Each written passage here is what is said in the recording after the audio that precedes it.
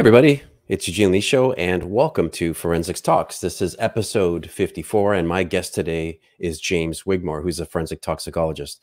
Now, before we get started, as usual, I'd just like to make a couple of quick announcements. And of course, uh, many of you who are going to be watching today uh, maybe from different places of the world or whatever. So by all means, go ahead and type into the comments section where you're from. I always like to know where uh, folks are watching. And of course, if you have any questions along the way, also post those in there and I'll try to uh, get them over to our guest today as well. So um, a few things uh, that I wanted to uh, just bring up here. And the first one is that I do have a course that's coming up, and this is a photogrammetry course that I've just announced. We already have people who've signed up. And so if you are interested in photogrammetry, you're learning how to use your digital camera to document evidence in 3D. There's a course coming up on February 22nd and 23rd of this month. So it's coming up, it's just around the corner. You can just go to ai2-3d.com slash photogrammetry and you can sign up. And I'll put this up at the end. Also, there is the IAFSM ACER conference. So this is the International Association of Forensic and Security Metrology and the Association of Crime Scene Reconstruction. And this is a conference that's happening on February 14th to 20th. Actually, that's not the 28th. Uh, 28th. That'd be a heck of a long conference. Uh, but that is coming up on the 2022, just around the corner. I'm going to be teaching the basic laser scanner certification course. And that is um, something for people who are doing, you know, crime scene documentation with the laser scanner and also um, I'll be doing a workshop there on bloodstain pattern analysis. So if you're interested, just go to iafsm.org and uh, you know you can get some more details, register, whatever it is that you like. Perfect. All right, so today we're going to get started, and uh, my guest today is James Wigmore, and James has worked as a forensic toxicologist for over 29 years at the Center of Forensic Sciences in Toronto, or he was um, he testified in over 700 criminal cases throughout Canada and in numerous personal injury civil cases and coroner's inquests. He's published over 70 scientific articles in the forensic toxicology area, uh, which have been cited by the, Supreme, uh, the Supreme Court of Canada and the High Court of South Africa. He's written numerous books, a couple of them I'll show you a little bit later, and as well as three books on the medical legal, medical legal aspects of alcohol and cannabis. Uh, his next book will be on nicotine and vaping, and I'm going to ask him about some of that today. Jim's been interviewed on the CBC and other media on issues arising out of the legalization of cannabis in Canada and on vaping. And he was on the expert panel of Health Canada on public information regarding cannabis. He received a prestigious Derome Award from the Canadian Society of Forensic Sciences for outstanding contributions to the field of forensic science. And I'm just going to bring him in here. So there he is. Hi, James. How are you doing? Hi, Eugene. Very well. Uh, th thanks for inviting me on your show. I'm looking forward well, to it. Yeah, pleasure to have you, and I, really appreciate it. So, whenever I, I do these kinds of talks, um, this is one that's like way out of my wheelhouse. Okay, because I'm I'm not I'm not a chemist. I'm not a you know biologist. I'm I never liked chemistry. I was more on the physics side and math and that sort of thing. So, um, you know, I I've done a bit of research here, and but I'm, I'm really going to be counting on you to sort of uh, educate me in a number of areas. Um, the the first thing that I want to ask you about is yourself and, and sort of your career path. A lot of times we have people who are in um, school or in university and they're thinking about a career, maybe in toxicology, you know, chemistry or whatever. And I'm just wondering, what was your path into um, toxicology? Well, it was very unusual because um, I started at the forensic lab in 1976. So we didn't have any CSI. There was no forensic courses offered at the U of T or any, I think, university in, in Toronto. So it's changed quite a bit. So basically, I, I started there as a technician. And for the first couple of years, what I did is I repaired all the breathalyzers used in Ontario by the police officers. So that was the old um, green box with the uh, potassium dichromate solution invented by uh, Professor Borkenstein. So when I was doing that, I caught fire and I was became an instructor on the course for um, breathalyzer technicians, a two-week course to train them. And I went to, eventually went back to university and finished my four-year degree, which is a minimum requirement for your Bachelor of Science. Unfortunately, the Center of Forensic Sciences uh, well, used to be downtown, right from the U of T downtown campus. So I'd go over there in my lunch hour or whatever and, and take courses and come back. Eventually got the four-year degree, became a scientist, um, again was promoted, um, did all sorts of research and published papers and, and went to court. Um, numerous, numerous times um, about uh, breath alcohol testing. So it's an unusual path. Um, there was a few people at the lab at the time that did the same thing where they started as technicians. So you don't need a, a full qualifications and then were able to upgrade the qualification, become a scientist. Uh, but it's an unusual type of uh, path nowadays. Typically, they want for a toxicologist a PhD to start with, and um, unless you can do it through the technician way, like I did. Right. Um, so let's talk about forensic toxicology. And um, if you had if you had to explain toxicology to somebody like me, okay, or to somebody that wasn't really aware what it was, what would you say is the primary role of toxicology, at least in a forensic context?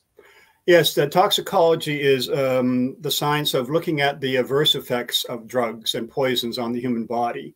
Pharmacology and pharmacy and that is looking at the beneficial effects of the various drugs, but a toxicologist is looking at the uh, detrimental effects of the drug.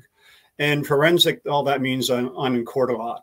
Uh, so forensic toxicology. So it's basically toxicology related to medical legal situations or the law, basically. Okay. Now, were, were there any particular areas that you that you sort of specialized in over the years, or areas of focus that you've studied that are your primary sort of things that you talk about? Oh yes, my primary um, passion, are the um, what I uh, the drug I really focused on for for quite a few years was alcohol. Um, some WAG has said that alcohol is but distilled crime. And if you're going to go into forensic toxicology, you have to know alcohol inside out because that's 90% of the drugs in, in you know, homicides or sexual assaults or in medical legal corners cases, such as um, a person falls off a bridge or the snowmobile goes through the ice. Um, car, uh, car accidents, of course, impaired causing death, uh, very serious accidents. It's all involved, 90% uh, of the time involves alcohol. So you have to, if you want to go to forensic toxicology, in some ways you could just call it forensic alcohol toxicology, but that would, um, you know, that would get rid of, uh, uh, remove all the other drugs. But alcohol by far, you have to know. Yeah, I, I was just thinking, like, especially with some of the cases I work on, it's incredible to see how many times people are under some kind of influence of a drug or drinking alcohol, whatever it might be, whenever a crime is committed or there's some kind of serious accident or, or something like that. Probably a lot more than we realize, I think. I'm not sure what your experience has been. Yeah, it's a, it's a quite a quite a large number. Um, typically, uh, if you have a single motor vehicle accident at night, on the weekend, almost invariably alcohol is involved. Yeah. Well, let me. Let, I think today I wanted to focus on a couple of things, and uh, well, a few things actually. And one of them was going to be nicotine. And nicotine is sort of the ones that you know I, I understand more because you know growing up, uh, you know I've seen the transition and the changes and attitudes change from nicotine. But if we had to go back in time, um, was was nicotine something that just kind of crept up on people, like nobody really knew because people were just smoking, or were was there some sort of um, you know medical use for nicotine early on? Well, nicotine actually, it's interesting. It's one of the few drugs that have has come from the New World, um, from North America.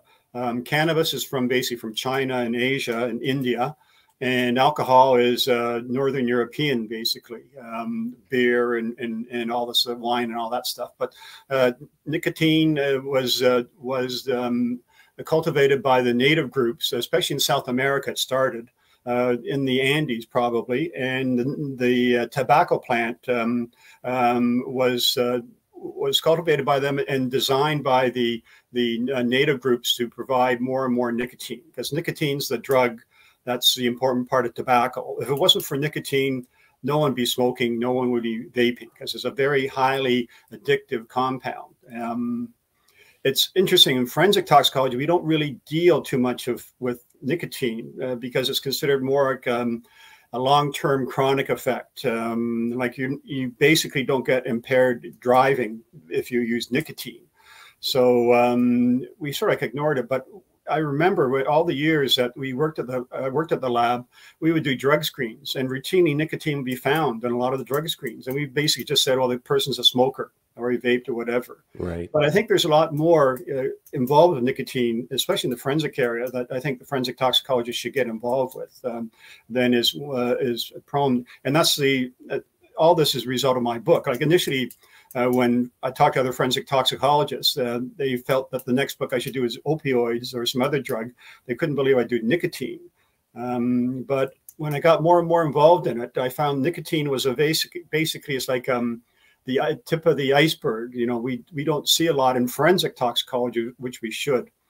Uh, nicotine's a neurotoxin. It's um, it's the most poisonous of the drugs. It, actually, it's about 200 times more poisonous than alcohol, and vastly more poisonous than than THC or, or cannabis. So mm. it is an extreme poisonous drug. It's also absorbed through the skin.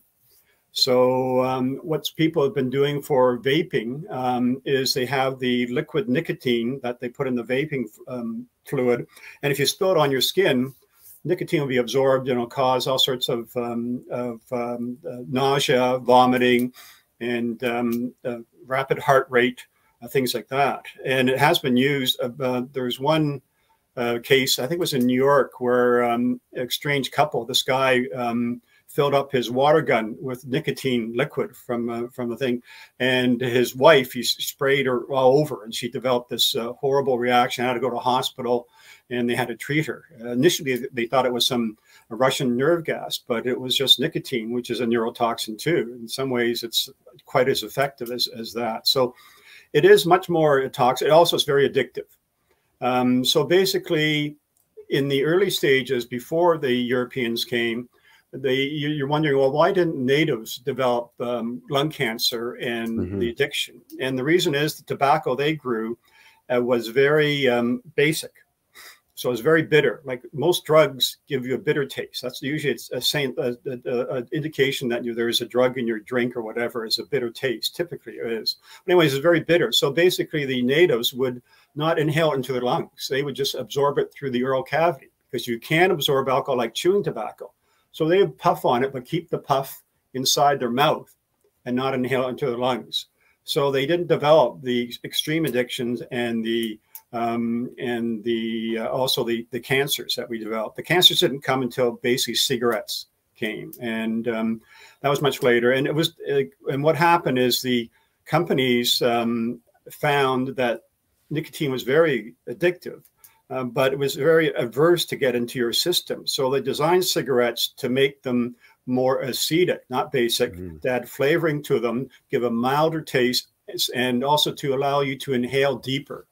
So no longer do they want you to puff because the nicotine level you got from puffing only went up very, uh, you know, uh, very low and at a very low rate. When you inhale it, it's almost like intravenous injection. In fact, there's some indication you get uh, more of a hit with nicotine initially than you do get from morphine intravenously. Um, so it's, so it it's a, fast. Yeah. Oh, yeah. When you're smoking it, it's oh, extremely, extremely fast, and that's mm. what people are craving for.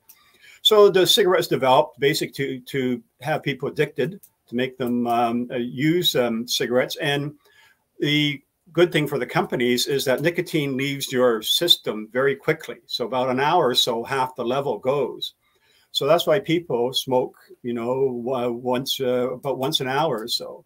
Um, and they'll smoke a full cigarette, which is about um, uh, 10 puffs to, to each cigarette. So if you're talking about a pack of cigarettes, 20 cigarettes, 10 puffs to a cigarette, that's 200 hits of a drug you're putting in your body. And you mm-hmm. wonder it is so addictive. And um, it's, you know, it's a, the trouble is too, is people inhale all this into their body and you get cancers. And in 19, I think 1910, 1920, cancers first started uh, occurring, lung cancer. Uh, there's um, pathologists who are all excited about, I think it was 1910 or something, or, 50, or 1915. The guy was going to see his first pathologist, first lung cancer related death ever. And he rushed over to see it because he thought we'd never see this case again, lung cancer again. And what happened, of course, is the smoking craze came in, the advertising, all the worst things you can think of a, a large companies to make money off of people's misery, mm-hmm. addiction, and uh, death.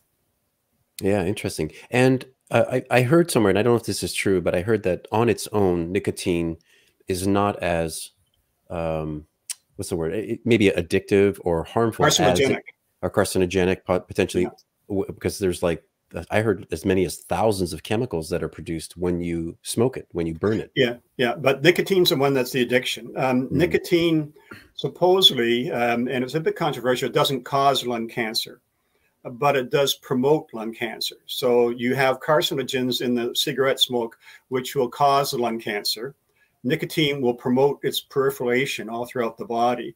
And that's why you see sometimes you see a lot of cigarette smokers initially have the cancer in the lungs, but it spreads to the brain because of the influence of nicotine. Uh, which uh, which is of course horrendous. But um, yeah, it's not uh, as uh, cancer causing as, as tobacco specific nitrosamines. Okay. Now you mentioned you know that it's absorbed through the skin and such, and in order for people to get off of you know the nicotine, I mean, of course, there's uh, gums, right? There's gums you can chew. Yep. There's patches that people put yep. on, um, and then there's vaping. So um, but I, am not sure is vaping a, a, a path out of smoking for some people. Yeah, again, that's controversial. I I don't think it is because basically the habit is you're doing this 200 times a day. Um, a, a, place, um, a cigarette or a vaping device like Juul is designed that the tank will last for 200 hits. So it's basically designed after the cigarette. So you're basically doing this all the time. Then you change it to vape. You're doing the same thing all the time. So the same behavior is occurring. The best ways of, um, you should see a, an expert on it, but the best ways are using a patch and gum together. Mm. And the, um, the patch gives you a long background of nicotine level. So you're not going to develop the craving as much. And the gum will give you a, a quick burst of nicotine to keep you on track. And then, of course, you need other other treatment. There's there's also uh, drugs that um, uh, the main one of the main drugs is antidepressant antidepressant to uh, allow people to take off nicotine. So, so so see an expert and definitely get off using cigarettes for sure or any tobacco product and even uh, vaping.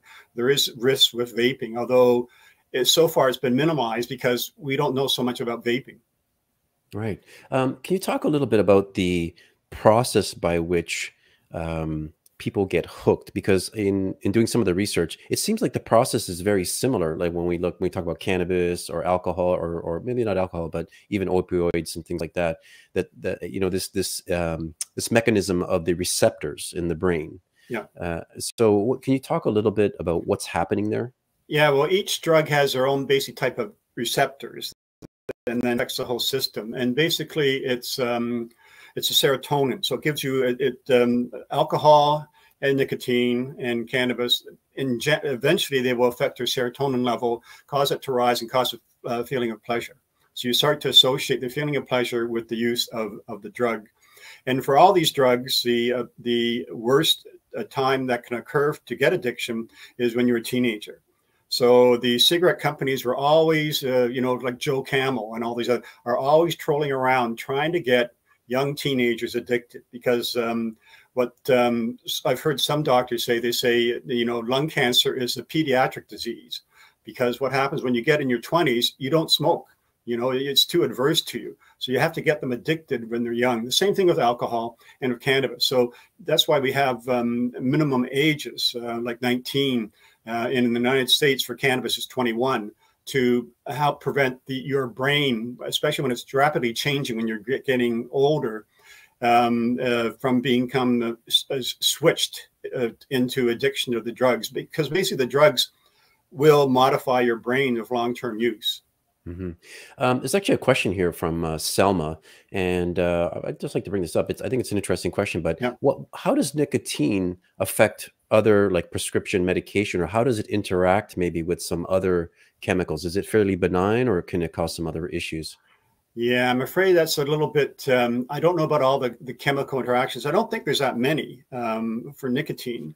Uh, because the levels you take are such such small levels. Um, there may be, but again, you'd have to consult your your medical doctor. Uh, uh, you know, if there are any interactions. Uh, the best thing is is not to have any nicotine at all on board.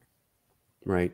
Well, you know, nicotine is one of those things, though, that um, so, for example, alcohol or other drugs that sort of um, affect you in different ways, uh, sort of emotionally or mentally, whatever. You know, people would never blame nicotine on, you know, I lost my, I can't drive because I was smoking, or you know, I, I lost my mind because I was smoking. So we don't typically don't associate that with nicotine. But I'm just wondering if you know if somebody's really smoking heavily, um, there's going to be some physical effects, right? Potentially very harmful physical effects if you overdose on this stuff.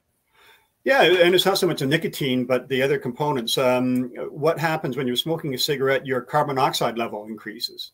So there has been study for heavy smokers who have a high carbon monoxide level, which again affects the oxygen going to your brain and um, all your neurons and that.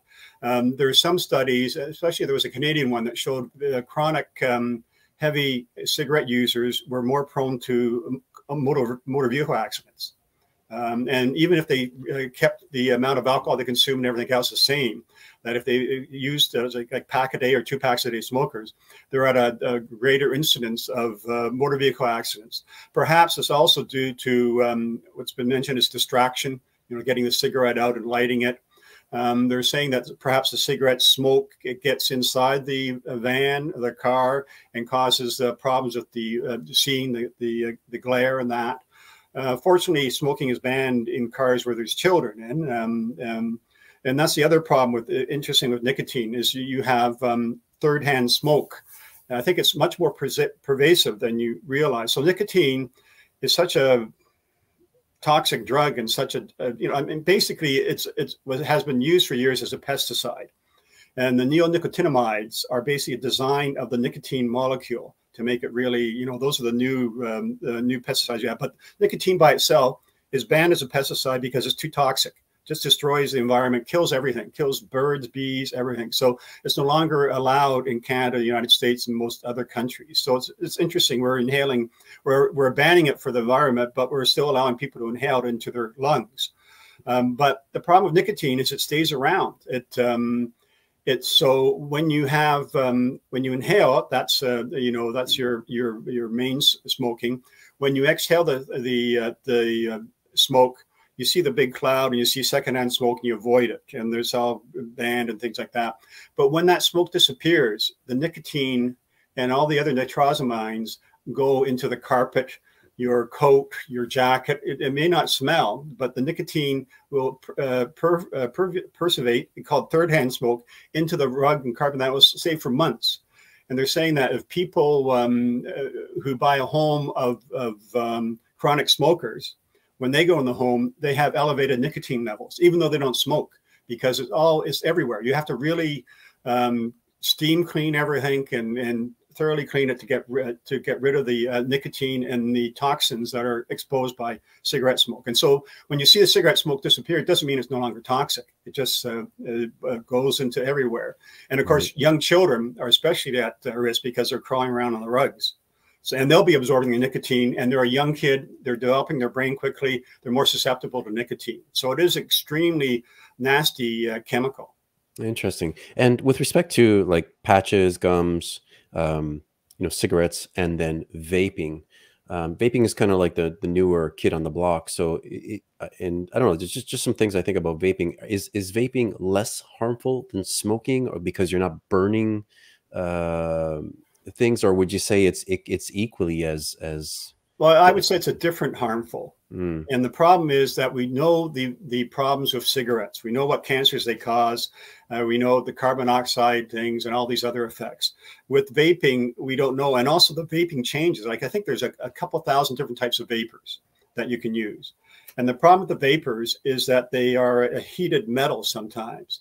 And so, so it's um, uh, you probably know more about this, and like nickel, nickel cadmium uh, uh, uh, things. And so when it's heating up and cooling down, heating up and cooling down, little bits of nickel, uh, nickel will get out. And they found that in some vapors, the level of nicotine uh, of nickel, not nicotine, nickel in the blood is much higher than for people who even smoke cigarettes. So it's a different type of harm, I would say. Um, I, I wouldn't like I would not recommend someone to switch from from cigarettes to vaping. I would recommend them to quit altogether. Sure. well, that makes sense. Yes, I would agree with you there too. Uh, let's move into, I want to move into the, and I learned this now, it's the alcohols, and that includes cannabis, correct? Yeah. Yeah. Well, that's a little joke I have. Um, uh, because uh, when I did my uh, research on cannabis, um, like alcohol, the tech, scientific name for alcohol is ethanol. Um, but people just refer to it as alcohol, that's fine. Ethanol, the old L in the end means it's an alcohol. And if you look at THC, if you know what it stands for, it's tetrahydrocannabinol. So if you look at the structure, it has some ring structures, but it's basically is considered an alcohol. So alcohol is a is a three carbon, um, no two carbon uh, alcohol, and THC is a 21 carbon alcohol. So you can see in some ways they're both alcohol. So if I'm an alcohol expert, I could jokingly say that I'm also a, a THC expert. But um, but uh, yeah, they both have different effects. Um, alcohol so far, I think, is is the worst drug than uh, THC, at least under current uh, uses. Um, it's interesting. I, I, again, when I was writing my book on cannabis, initially I was against uh, legalization of, of cannabis in Canada.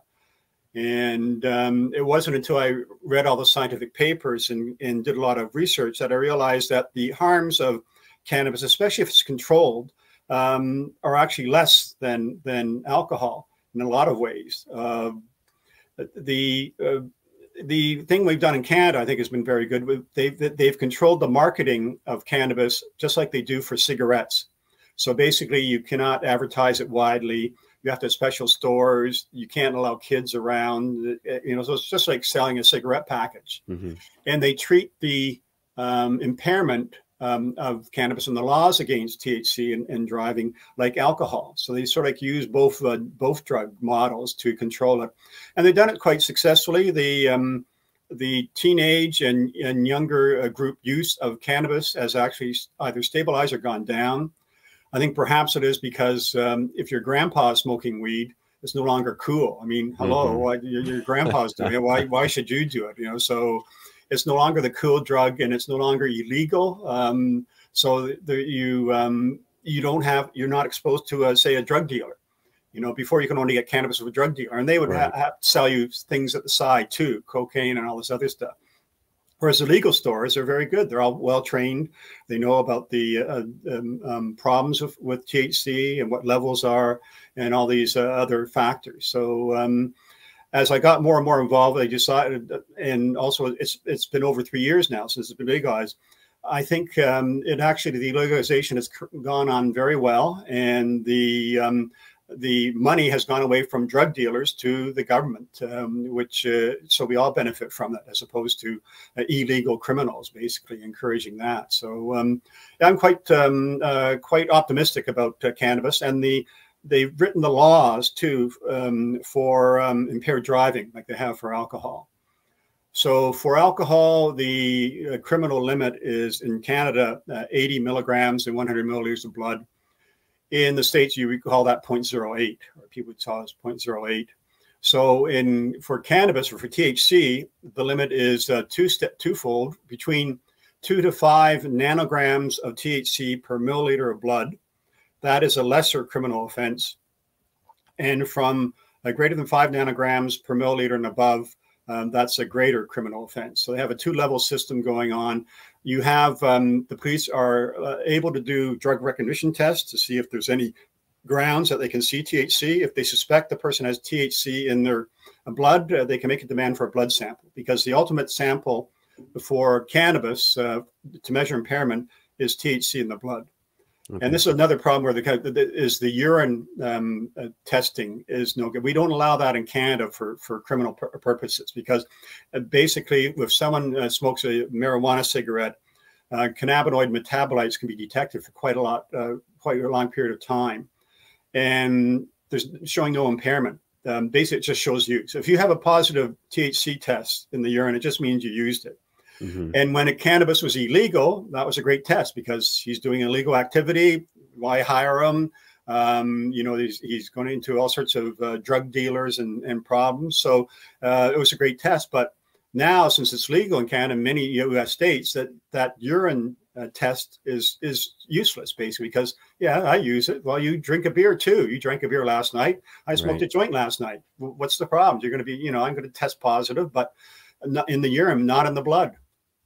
Yeah, that makes a lot of sense. I mean, alcohol is something that's obviously familiar with a lot more people, and people understand its effects. And if you overdo it on alcohol, it becomes immediately apparent, uh, both in the way you function and some of the after effects as well, uh, which can last, you know, for hours and hours and hours. But uh, cannabis, um, does it have uh, does it have the same kind of effects as alcohol? Because it would seem to me that it's quite different. I mean, uh, growing up, I knew some people that were regular users and they weren't necessarily you know they could operate they could function uh, you know they they would do their thing but they could do their work they could do their their jobs depending on what it was but um, how how is the effect on the body so different between the two?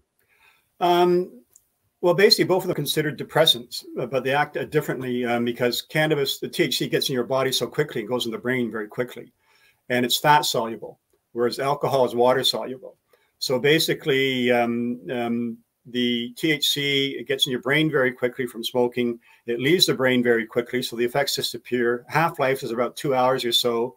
Um, whereas with alcohol, it's water soluble. It gets in your body slowly by drinking, um, and it distributes through all your total body water supply, and uh, it's slowly eliminated at a fixed constant rate by the liver.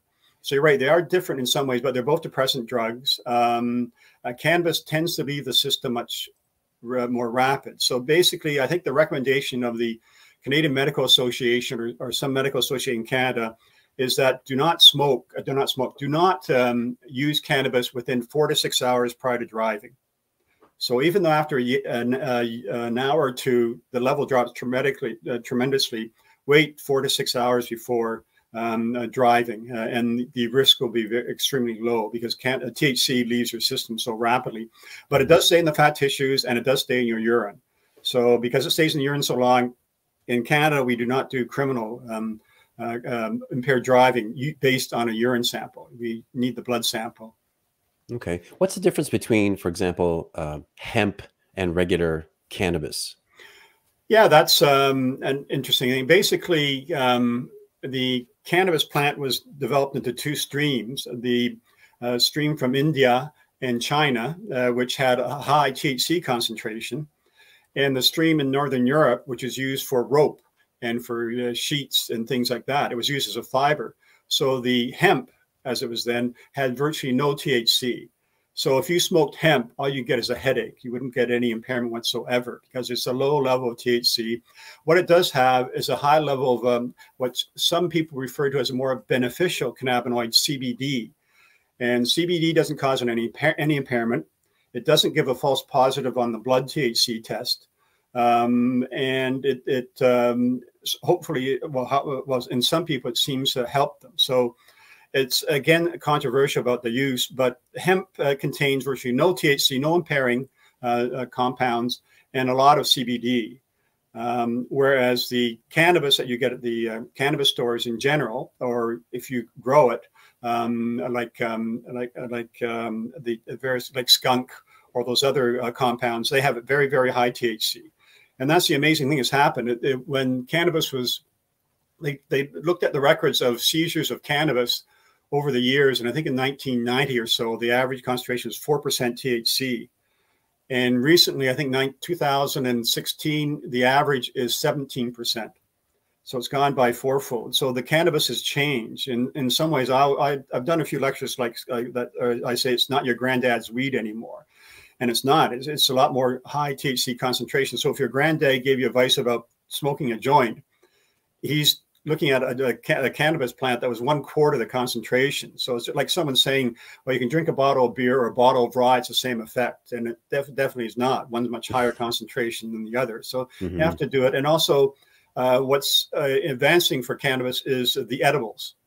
And edibles, I, it's, it's interesting. In, in my research, I find that I would say the vast majority of the problems with cannabis uh, in medical legal situations and also in um, psychiatric situations is due to um, edibles.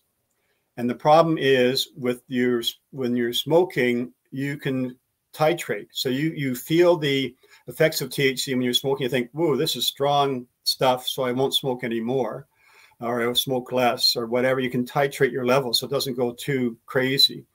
With eating, um, the effects don't appear for an hour or so. So you take a piece, of a brownie um, and wait and wait and wait. There's no effect. So you take another piece, no effect. You take another, and you overdose. And that's what I've seen a lot of that. There's one uh, case in in Colorado where a naive user, uh, he got a, um, um, a, chocolate, a cookie basically, and the cookie said, uh, "Take one sixth of the dough of of this cookie." And so basically, the maximum dose you should take if you're new at it is five milligrams. So 2.5 to 5 milligrams of THC maximum dose when you're starting it. This cookie contained 30 milligrams. So it was correct in saying, well, eat one six. So the guy ate one six, but who's going to eat a six of a cookie? And he sat around, no effect and no effect. So he ate the whole cookie. So six times that you should have. He developed psychosis, paranoia, all these other effects, and fell or jumped off a, a building. So, mm. and that's again edibles. Whereas if you're smoking, he couldn't get to those those levels. So the edibles are are, are a problem. Uh, they also cause problems for for for children, especially when they're shaped like gummies, because again. Um, children and young kids are much more susceptible to the effects of drugs. So, like five milligrams may not affect you, but for a, for a five, six, seven year old child, it's going to have quite a dramatic effect and perhaps right. go to hospital. So that's the other problem is gummies. In Canada, we restrict we, we have restricted it. It has to be properly labeled and childproof. Um, and uh, the maximum uh, in a package can be 10 milligrams. So it kind of restricts it. But there are all sorts of cases of, of, of children being poisoned by THC because they ate a, a, whole chocolate bar, which had 100 milligrams of THC, or a couple of gummies. And I heard one person said, well, one of these unscrupulous dealers. He said, "Well, uh, the gummies we make will be vegetable-shaped gummies because kids don't eat their vegetables." so um, I'm afraid that doesn't work. Uh, you need yeah. child-proof resistance and all this other stuff. So there are some problems there. The, the uh, edibles, I think, are the main problem so far um, with the uh, with cannabis use, and it's mainly a, a, learning experience, which is what a program like yours will help. So so yeah. you know that you know don't eat a whole cookie if it says don't eat the cookie. You know, and and remember the effects will take longer, uh, and also the effects last longer in cannabis um, with, right. when you eat it as opposed to smoking. It doesn't disappear as fast. In uh, in in cases where, for example, you have a victim, you have you know you get somebody who's died or whatever. I'm curious about the latent effects of you know alcohol or cannabis you know once if a person's dead like when you go back and you're, you're checking to see like you know what was what was there um uh, is there any um what are sort of the the the effects after a person's body shuts down with alcohol and with cannabis? Like what are some of the after effects? And can you can you work backwards you post-mortem sort of changes or that? Yeah, yeah, yeah. kind of alcohol is well known um, and you can actually do back calculations. You can use blood and urine tests and and and quite um, um, uh, neatly uh, calculate how much the person had to drink and all these other effects.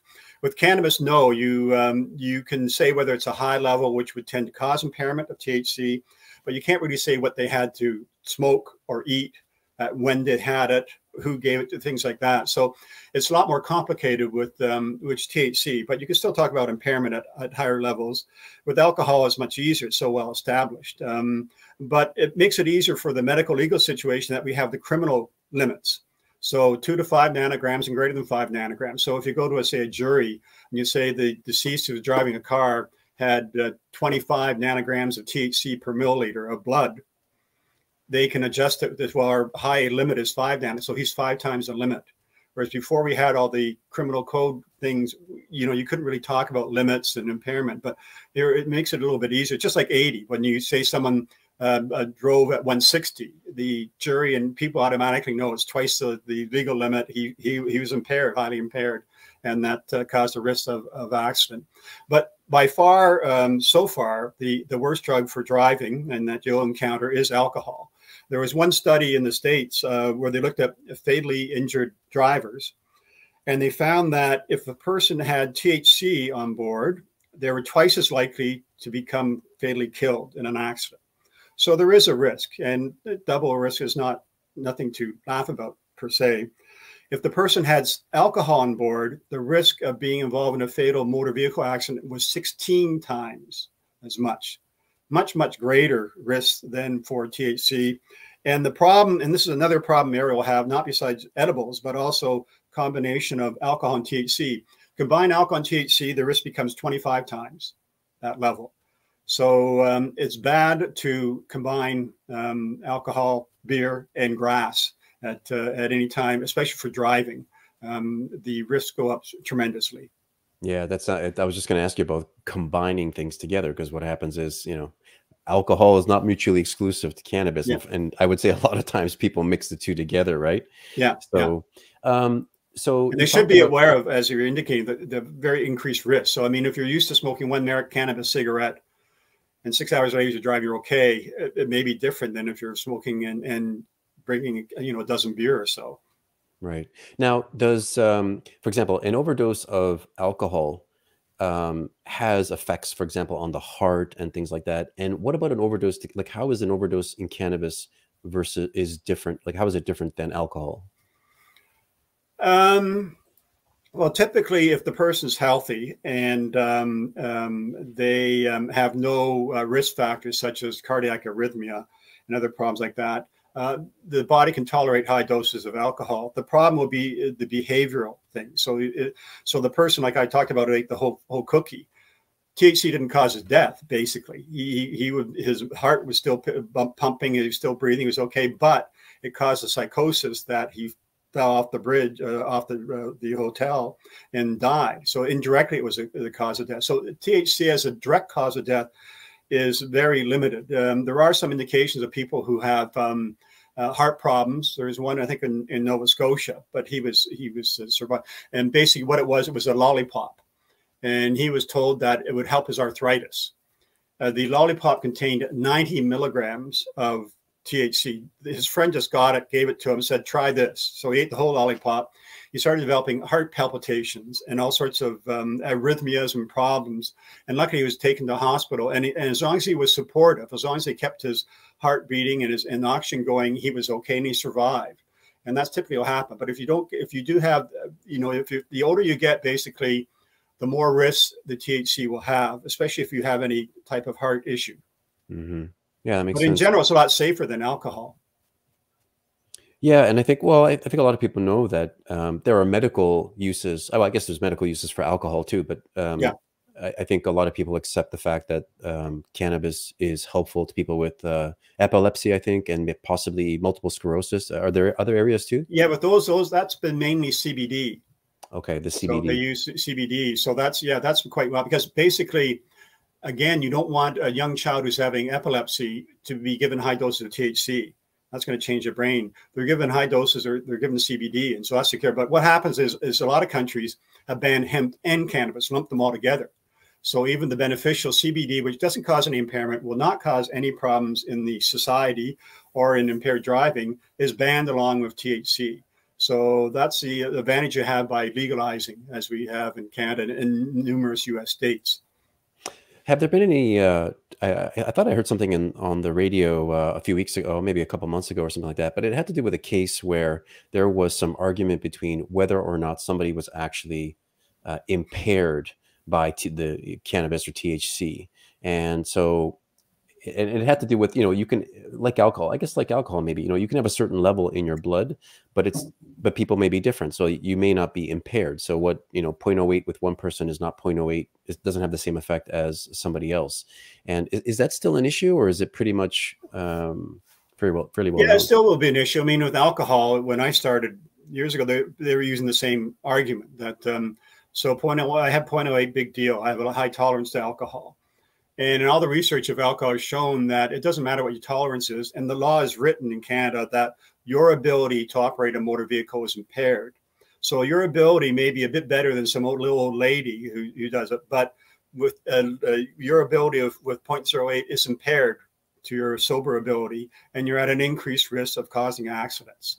So uh, basically, we've gone around uh, in alcohol from looking at finger to nose test and seeing if the person's, uh, you know, can say uh, Episcopal Canadian or whatever it is, to looking at the level by a breath test or a blood sample or a urine sample. And we know if the person is over 80, actually over 50, there is an increased risk of a motor vehicle accident, and the various symptoms are affected especially at night. It affects um, vision and that at night and your ability to to operate at night. And that's a lot of times when the accidents happen. So um, the same arguments with cannabis. We still we we will still have uh, fights about this in court. And that uh, you know something to look forward to to see what's happening because we fought all this out in court in uh, for you know, 20 years with alcohol and finally got everything uh, settled down. Uh, with cannabis will be the same thing. There'll be people who say there's no impairment, and and in some ways the criminal code is not saying there's impairment. It just says you cannot have a blood THC greater than two nano, two to five nanograms or greater than five nanograms. It doesn't care about whether you can walk a straight line or not. So in some ways, it's an issue that um, doesn't matter because the, the, all the research has shown that with these levels of greater than two nanograms, there is an increased risk of a motor vehicle accident in the general population. Yeah. Um, I wanted to move into uh, opioids a little bit, just to touch on them. Uh, and um, you know, I was I was reading up on them quite a bit, uh, you know, in anticipation of, of you coming here, and I was really surprised. I didn't realize that you know the U.S. and Canada are right at the top of the list in terms of number of opioid deaths. So it yeah. seems like it's a serious problem. Yeah, it's the same. Uh, basically, I think it was the same company that promoted um, opioid use and said it wasn't addictive, almost like tobacco companies that initially said promoted cigarettes and said it's not addictive.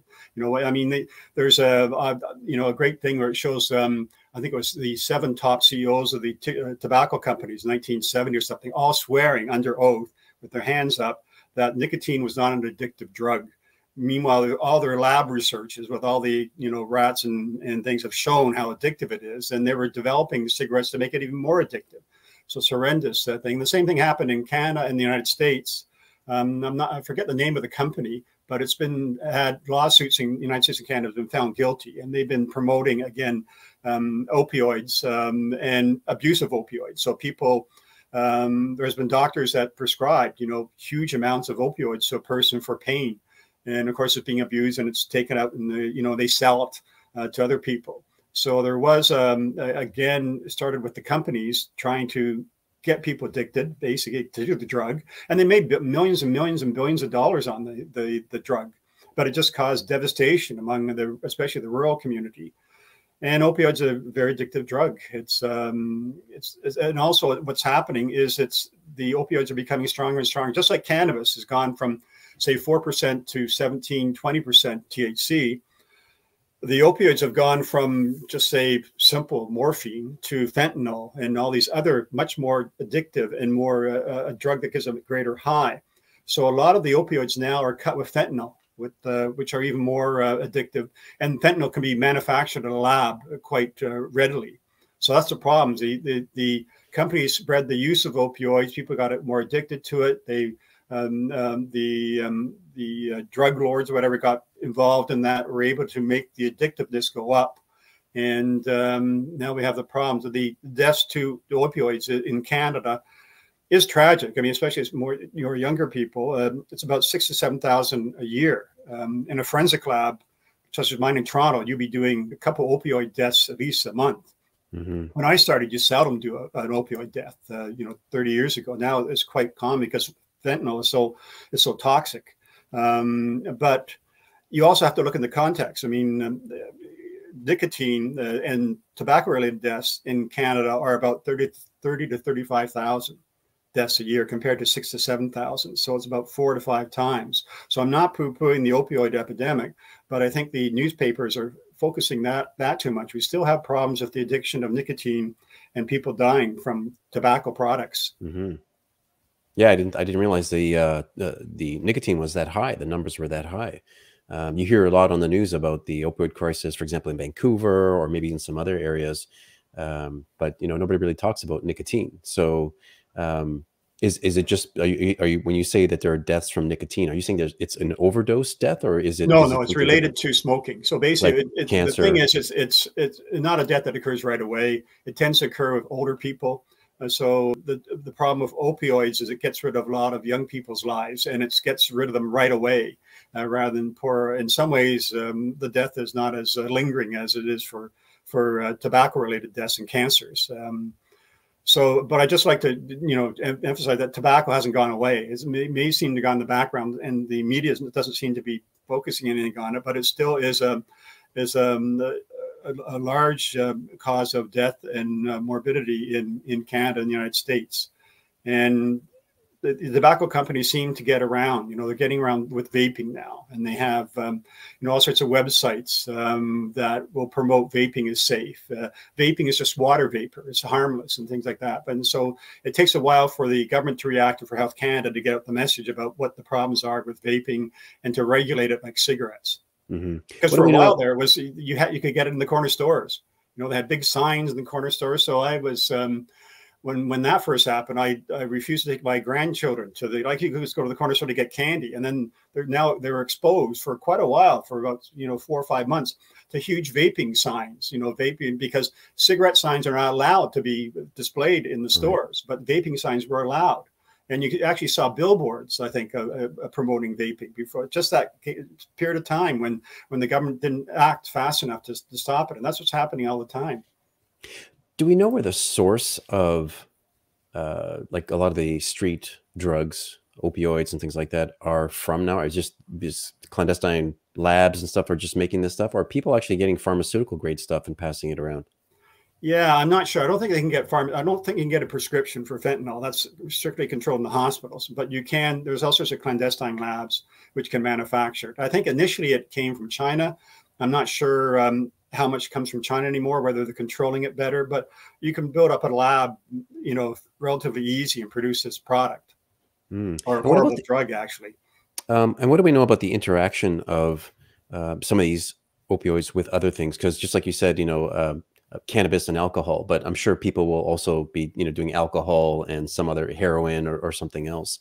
Um, yeah. Um, well, when you do um, alcohol and opioids is a bad, the, the, potentiation is, is much greater. So you would mm. see a, a, much greater effect of impairment, um, staggering and all the other effects uh, with um, that would compound the effects of uh, morphine or the opioids. Okay. Um, I understand that uh, I, I heard on a on a I think it was a podcast or something that you can sell cannabis. Is that true? you can who you can smell cannabis? No, no, sell, sell, sell. Um, ooh, yeah, I'm not sure the ins and outs of legal. You can grow four cannabis plants. I know that. I don't think you can sell it unless you have a license. I well, mean, so you, so as long as you go to Health Canada, right. go through all the rigmarole, show that you're growing a secure area, and and make all, make all these other things, you you can sell it. But it's quite a um, a long process to do it. But in general, you can grow four plants and you can uh, use it yourself without any problem. Just like you can uh, ferment your own beer and make your own wine. Um, you can also grow your own cannabis. Right, but I understand you took some kind of a course some time back is it some kind of a course for selling or, or like uh oh for that a cannabis course yeah that was the oh yeah yeah that was the um yeah you, when you're meaning is i can sell it legally yeah so i can go in a shop all the people who are working in the cannabis stores across canada have to have a, a can serve just like you have the, uh, the, the serving for alcohol so you you take a course and you you uh, it's online and you pass it um I had no problem, of course, but um, so I actually, you're right. I, I have my CannSell certificate. So if I went to a cannabis store, I could um, I could legally sell it, um, but only in that store and not for my own. I couldn't bring my own four plants and sell that. no, you couldn't. Um, I was going to ask you, what's there, there's another one that I heard of, and maybe I'm just out of touch here, but uh, it's I think is it is it carfentanil? Is it carfentanil? Yeah, that's more uh, even more toxic than fentanyl. Is that like the new kid on the block now? Is that recent? Um, supposedly, uh, they're they're seeing it more and more. But I, you know, don't work at a forensic lab anymore, so I haven't seen what the st- statistics are with it. Right. Well, look, uh, we're kind of getting on in time here, but I do want people to, uh, you know, have a look at your website and stuff like that. And uh, so, look, folks, if um, if you get a chance, I'll put up the link here uh, to James' website, and it's Wigmore on alcohol. And actually, uh, James, can you talk about the the books you've got here? Because there's a few things here going on. Uh, what can you tell us about some of the writing that you're doing, and what's uh, what you've done, and what's coming up? Well, basically, it's it's um, looking at the medical legal aspects of these uh, two drugs, uh, alcohol, and then my more recent book was on cannabis. That was around the time of legalization.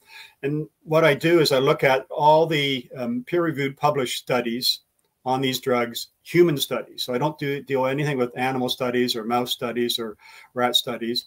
And I uh, put them into all sorts of different uh, chapters, um, like um, you know absorption, distribution, elimination. I uh, do a, a, summary of the paper. I um, put them in proper order, and things like that. So people and, and lawyers and judges and that can um, can have a look at it and understand the basic principles of drugs by peer-reviewed published uh, uh, studies. And um, actually, it's, it's, become quite popular. Wigmore on alcohol. Um, I had a, a, a, um, email from Sardinia uh, just the other day, and he showed me the Sardinia uh, Forensic uh, Medical Legal Library, and there were my books prominently displayed.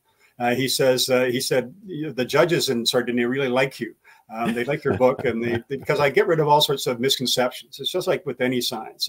there's a lot of nonsense about uh, alcohol. Um, uh, will cause this. Like if you have, if you cut your tongue or something, you'll get a false high breath result. Or, um, you know, if you um, uh, breathe a certain way, you'll you'll uh, get a low result, or you'll get rid of alcohol faster. So it's basically just um, trying to do it to a layman's way um, uh, in looking at medical legal aspects. Yeah, interesting. Well, if people want to reach out to you, are, you're also on LinkedIn, I believe. That's um, right. And if anyone's interested in forensic toxicology, if you want to link in, uh, for, it's fine with me. I'll, I'll link in with you. Excellent. Well, look, um, I really appreciate your time. That's very, very informative, and uh, yeah, a lot of information here. That uh, in in even in doing this talk, I, I learned a ton of stuff about uh, nicotine and, and that sort of thing. I mean, I don't smoke or anything, so you know, it's not very familiar to me. But yeah, I really appreciate all the work that you're doing, and um, you know, good good job on the books and everything else. I really appreciate your time. Oh, thank you. Excellent. Thanks well, I'll tell you what. Yeah, I appreciate it. Um, hang back, and I'll I'll come and chat with you in just a second. I'm just going to make some closing comments.